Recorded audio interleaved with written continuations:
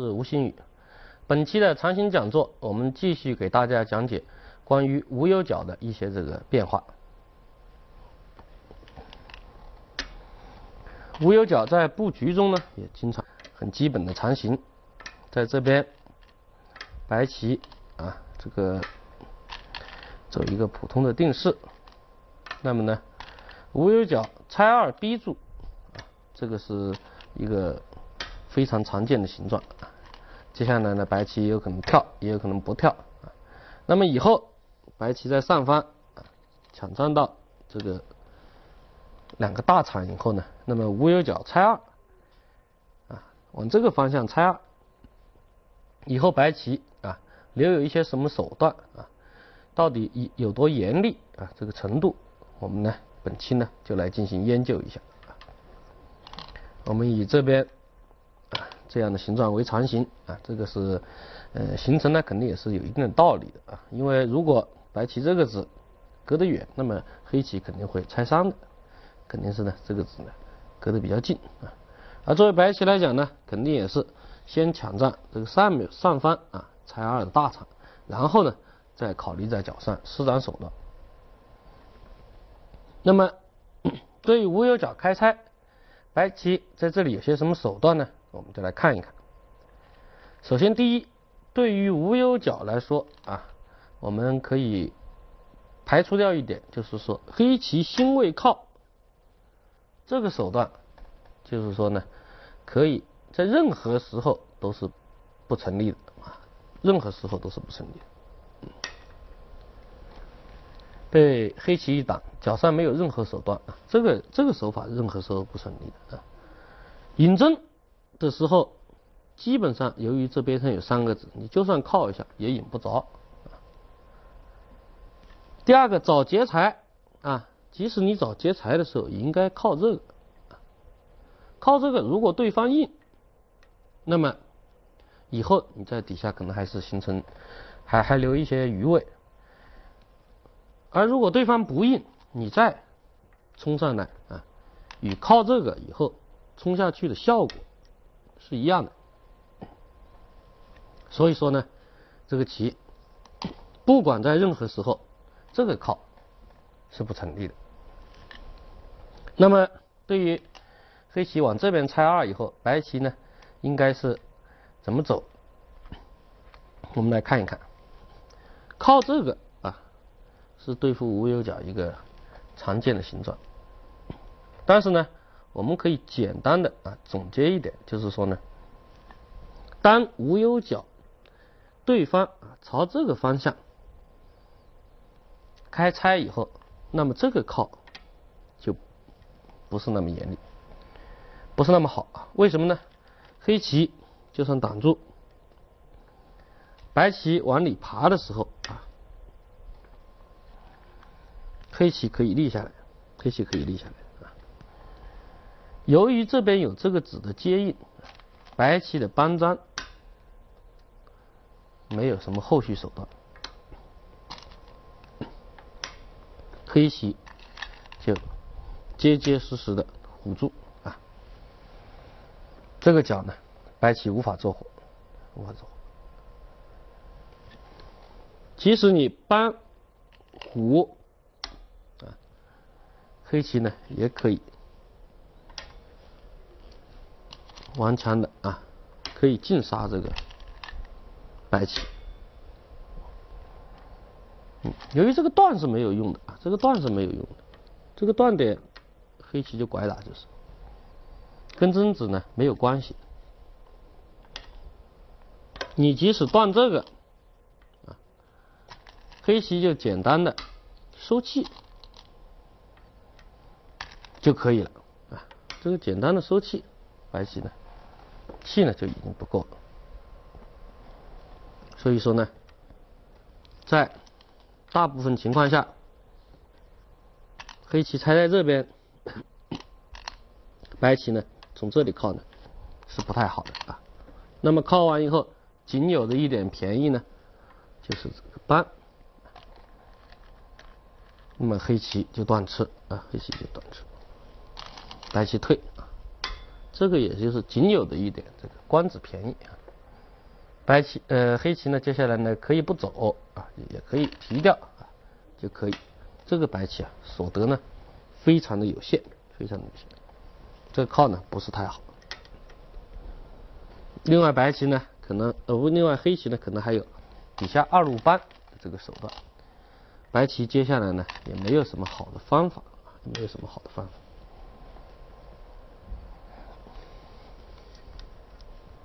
那么对于这个棋形呢，由于黑棋已经啊，特别是拆二开拆了的时候呢，嗯，白棋这个靠嗯不好，那么依然运用我们前面讲过的这个拖，在目前情况下呢，嗯不太成立啊。黑棋最简单啊老师的应法即可，往里面一退，这个白棋。在这里不容易啊，走出太大的棋来。你搬黑棋就硬住，顶，这黑棋呢就一个一个都跟着硬啊。那么白棋搬过的时候呢，黑棋可以断打，打下来啊，提掉，黑棋粘，黑棋粘。这个棋白棋虽然活了，但是呢，黑棋一个外面啊，形状比较结实。关键是这个子啊，这个子被碰伤的比较大啊，伤的比较厉害。这个是没法加的，因为黑棋力是先手。嗯，白棋还得接着走。如果接着走呢，黑棋当然可以抢占别的别的地方，或者是不走了。不走呢，这个被黑棋拐一下呢，这个活的实在是太委屈。所以白棋二路拖的时候，黑棋简单的三三退，这个呢就可以了。白棋呢没有好的后续手段，所以这个拖呢也不好。那么白棋对于这个形状最有利的下法呢是靠一个，靠一个，这个大家可以可以记住一下，大家这个可以记住一下。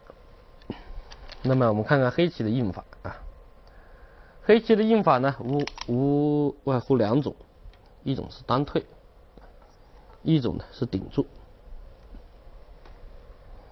一种是顶住。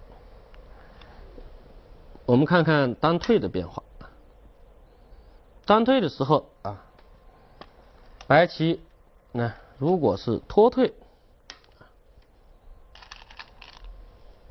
也是可以考虑的啊，也是可以考虑的。就是说呢，先手获得一定的目数，黑棋补回来啊。这个与我们前面嗯讲过的一些讲座呢，嗯都有都有关系啊，都有关系。呃，包括新大飞手脚的啊，这个跟我们前面的讲座呢，如果看过我们前面讲座的棋友啊，会有会知道，这个脱退以后呢，嗯，白棋呢先手获得一定的目数。还是不错的，大家注意，这个图与刚才这个图相比呢，有很大的区别。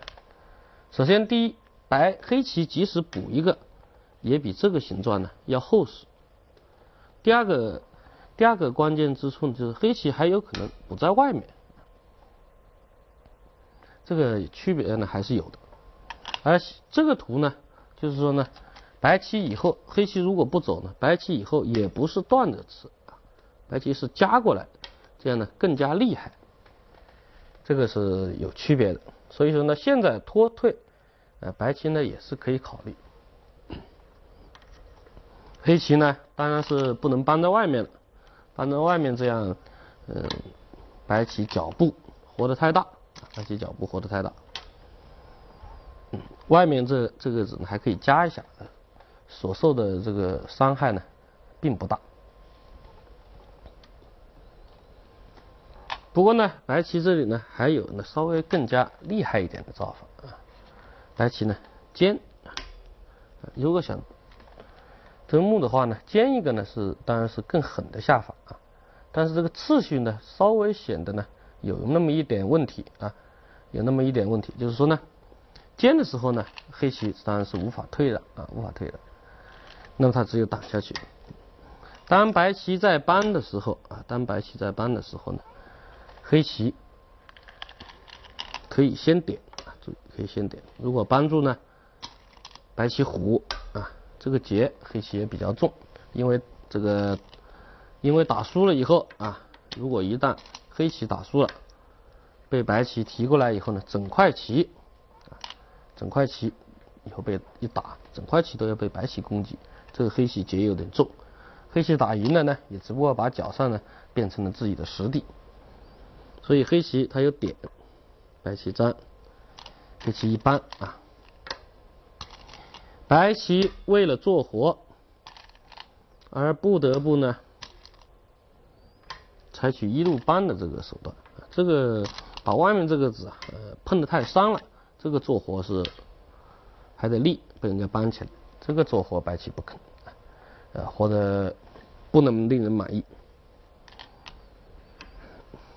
黑棋点的时候呢，白棋如果长，那么黑棋就断掉啊。这个这个损失也是非常的大！大家看看，尖一个和挡一个交换，这个损失也非常大。虽然从这里啊能够渡过去，但是呢，脚上呢黑黑棋已经吃的非常结实了，没有什么后顾之忧。以后还有可能啊有搬下来打劫的手段，即使你尖一个黑棋也有可能啊有顶出来的手段，这个白棋呢也不是太好。那么白棋的正确次序就是呢先搬一个啊先搬一个，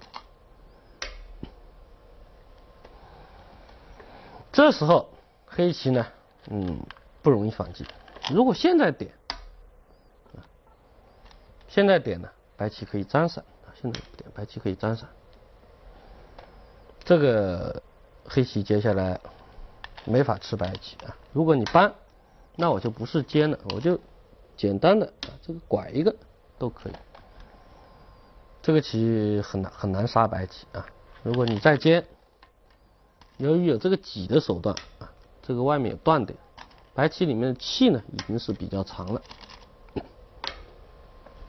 这个你要再立打吃，你搬这个被外面被一断，这个毛病太多。这个棋呢，呃，黑棋有危险，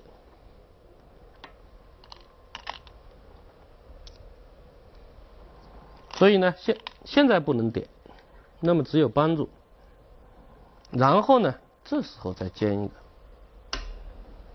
啊，这时候再尖一个。这时候再尖一个以后呢，呃，黑棋呢，嗯，现在就如果再打的话，那就等于呢，这下没有点着，啊，这个次序的差别呢就显示出来了，它就会呢虎一个，这样黑棋呢不是太好，所以这个时候呢，当白棋再尖的时候呢，黑棋呢，呃，也就只有退让了，不过它幸好呢，由于你这个交换比较损。那么呢，他就可以打八。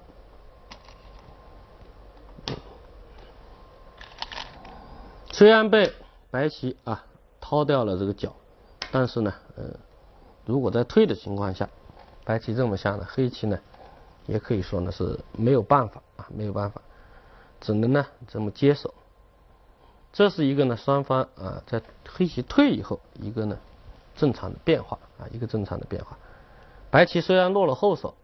但是呢，成功的掏掉了黑棋的角控，白棋呢，就是可以说呢还是不错的。黑棋退，当白棋靠的时候，黑棋退这手棋，可以说呢是在白棋周围比较强的情况下啊，明哲保身的话呢，也是可以这个选择的一步。那么相对于退来说呢，黑棋顶一个啊。就要紧凑的多啊，要紧凑的多。我们也觉得呢，这个顶一个，呃，应该呢比退一个呢要稍微好一点点，稍微好点点。那么我们再看看啊，白棋如何下？白棋接下来当然是搬一个啊，当然是搬一个。这时候黑棋如果退啊，那么白棋就活脚。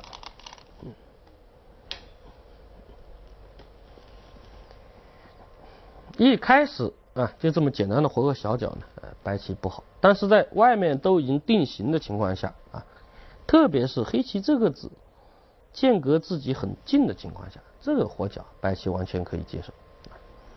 接下来黑棋也不过就是拐，白棋虎，黑棋先立一下啊，便宜点，比直接挡住要便宜，然后再挡住，嗯，这样呢，白棋活个角呢，完全可以满意啊。毕竟活了以后呢，把黑棋的这个目数啊，全部呢，呃，破掉了。其次呢，黑棋外围啊，还留有了这个。点方的毛病，这个是黑棋呃难受之处啊，难受之处。所以这个棋形呢，结果呢，黑棋来说呢，应该是也不能接受啊，也不能接受。那么当白棋二路搬的时候，白棋二路搬的时候呢，黑棋必然啊。要打，要断打。白棋在立，当然也没有意义了。那么接下来白棋打吃，白棋打吃。黑棋呢，提掉啊，提掉。然后形成这个结果呢，应该说是双方呢还可以都可以接受的变化。那么接下来一手棋呢，就跟全局的这个厚薄。啊，特别是劫财有着很大的关系。那么作为白棋来说，它是无论如何要打上去的啊。这个打上去还是非常的厉害。黑棋如果接上啊，本本身来说呢，黑棋接上呢也是个本手。如果接上的话呢，白棋打一下呢，这个便宜还是还是挺大的。接下来可以。这个白棋一一个可以虎出来，第二个呢，如果外面更厚一点、凶一点的话啊，可以顶出来。那你这个二路打八都是后手，这个战斗呢，白棋是丝毫呢不怕的，白棋是丝毫不怕。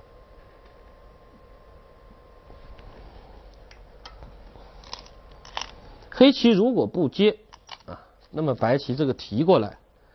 还是非常有利的啊，还还是非常有利的。因为这个你继续不走，一打劫的话，有可能把整个角给都给打死啊。如果你往回缩啊，这个白棋以后还有尖呢啊，这个搜刮黑棋的手段，甚至于你打我还有搬粘，你还得往回做活的这个招法。那么黑棋如果啊从上面打吃，从这里打吃。白棋提啊，白棋可以提的话呢，这个就要看这个双方的这个劫财啊，双方的劫财。不过总的来讲呢，呃，应该是白棋比较轻松一点啊，白棋比较轻松一点。呃，因为白棋它劫呢相对来说比较轻啊，这时候黑棋黑棋现在不能打这个，打这个粘上啊，这个白棋是活棋啊，你退一个，它一断打就活了。那么只有打这个劫。这个劫黑棋啊，即使打赢了，你你就是提掉啊，提掉，花两手棋提掉。那么呢，也只不过使自己的无忧角加拆二呢厚厚上加厚啊，也就是说变厚了。但是呢，目数呢增长了一些，但是呢，毕竟花了两手棋。而这个劫一旦啊被白棋拍上来啊。一旦被白棋拍上来提掉，这个就完全不一样。这个情况，这黑棋可可以说这个无忧角加加拆二几乎都死掉了。总的来说呢，还是黑棋这个劫啊比较重，黑棋这个劫呢比较重，呃，白黑棋的危险性呢比白棋呢要大得多。这个时候你你是不能缩回去，缩回去这个。打就没有意义了，所以呢，这个黑棋接啊是一个这个基本的这个正常的形状，那么白棋呢再顶出来，或者说再虎出来接出来等等招法。呃，形成这样一个局面呢，我认为呢，就是说呢，呃，白棋这个靠完以后啊，这个走完以后呢，白棋呢还是有有些收获的啊。不过作为黑的一方来讲啊，黑的一方来讲呢，呃，由于自身啊本身也是存在着一定毛病，当白棋从三三靠入的时候，那么黑棋你所有的选择呢，也就是啊，一个是顶住啊。或者是呢，退一个，嗯，大家呢需要就是说，呃，有自知之明啊，也就是说自知之明就是什么呢，呃，知道这个地方白棋进来以后，白棋是有背景的啊，外外面是比较厚的，或者是劫财是有利的。黑棋呢，不要认为啊，白棋进入到我这三个子，我就要非要强行杀他，或者是要占很大的便宜啊，这个呢，能够。啊，稳健的守住脚，黑棋也是不错的选择。那么我们再补充一点点，刚才呢就是说怕白棋打劫，那么白棋打的时候呢，黑棋粘是吧？不就没劫了吗？但是这个是呃不能考虑的啊，因为你这个粘上以后，被白棋这里又一打，这个太难受。如果你提，甚至于白棋他就直接就打上来了。白棋劫车有的话，直接打上。如果你退一个，白棋就一虎啊，以后这个一路爬还是先手，这个黑棋无法忍受，所以这个白棋打的时候，黑棋也是要提的。那么最后呢，除了白棋靠三三啊，这个是正确的，正确的这个下法啊，这个对黑棋为了要拆二，掏他的空的正确的下法以外呢，海白棋呢还有一种有趣的下法，就是靠在这里啊。靠在这里，黑棋啊，如果退，你如果退一个，那么呢，我白棋就顶，这个这个顶出来，黑棋如果敢强行跟白棋作战的话，这个黑棋危险，这一跳，黑棋冲不断，这个黑棋非常危险，嗯，被分成两块，角上以后还要被收刮，这个。黑棋不太好，那么靠的时候，黑棋如果上扳，那么白棋可以顶过来，顶完了渡过，这时候你再采取这个下法就不一样了啊，跟我们刚才拖的这个下法就不一样了。那么这个时候。白棋如果争执有利的话啊，就会产生一个很严厉的手段，那就是直接夹进去，直接夹着活，跟跟这个拐着活这个区别很大的啊。大家注意，他这么活，这个你不能立下去啊。如果白棋真子有力，它可以断上去。即使白棋真子不利，他说不定啊也有这个断这个的非常手段。嗯，断完以后啊，甚至于再加这个啊等等。当然了，白棋基本上他会考虑到真子关系，所以呢，这个活法呢，这个就不一样了，跟刚才脱了以后再活的这个相比就差别很远。如果你粘上呢，它依然可以搬啊，这个黑棋目数太贵。如果你立一个呢，那白棋呢可以断吃在上面这个补。这个白棋呢，也是很有收获的啊，也是很有收获。那么呢，当白棋靠在外面的时候，啊，这个黑棋呢，呃，比较稳健的下法的还是搬二路。白棋不能断啊，断你黑棋就吃在外面就是。你打吃我就接上，这个和和前面靠了搬相比，白白的损失了一手棋啊，白白的损失了一下。那么白棋呢？如果连扳，那么黑棋呢就断打，啊，就断打。这个黑棋接上啊，白棋没有什么太好的后续手段。白棋如果扳这个呢，可能会遭到黑棋的反击啊，就是断打这个。你当你打这个的时候，他会提掉啊。你要想出棋呢，嗯，也只有打这个啊，也只有打这个。那么黑棋再打这个劫呢，打起来呢，白棋会比较辛苦一点啊，辛苦一点。所以当黑棋二路搬的时候呢，白棋的正确下法呢是单长一个啊，单长一个这个棋。黑棋呢，如果退啊，如果退呢，白棋呢可以抢占到一个先手，这个几乎是个先手。黑棋呢再补一个，这样呢，局部来说，目数来说呢，白棋是不便宜的，比较亏的。但是呢，就是白棋抢占的这一手有多大啊？这个价值，这个价值有多大，就是值得这个推敲了。如果黑棋这个不走的话呢，那么白棋可以。通过气质把外面全部收紧，这个呢还是有点大啊。白棋可以拐吃，断打以后立一个啊，这个这个还是价值还是呢相对有些大的啊。所以黑棋补一手呢还是有必要的。虽然你能够封紧，但是呢这个外面全被白棋呢封锁了。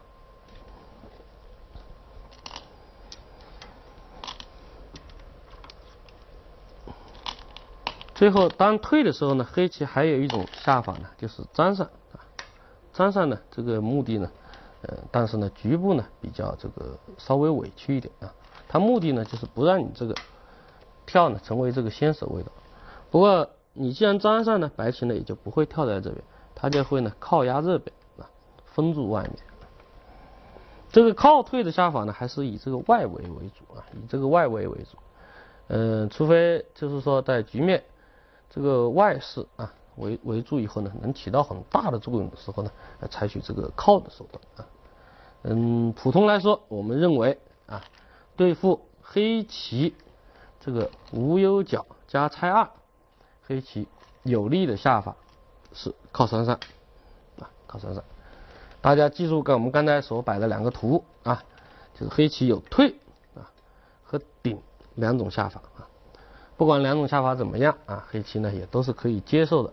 不过前提就是黑棋要就是说搞清这个立场啊，并不一定就是说白棋子力少，他就一定吃亏啊，而是因为白棋周围啊加上周围的子力啊，我们可以这么看，周围白棋子力比较多，那么在这个里面，黑棋应对白棋啊来破空的时候，不宜呢采取过强的手段。啊，希望大家呢，呃，注意注意这一点啊，记住白棋靠三三的手段和黑棋的这个应对方法啊，以及黑棋的这个立场，大家记住这一点呢，就能呢对这个形状呢有所掌握了。好，本期节目呢，我们就给大家讲解到这里。如果您还有什么问题啊，可以通过拨打热线或者发 email 的方式呢与我们联系。我们尽量呢给您回复您的问题。本期节目就讲解到这里，谢谢大家收看，再见。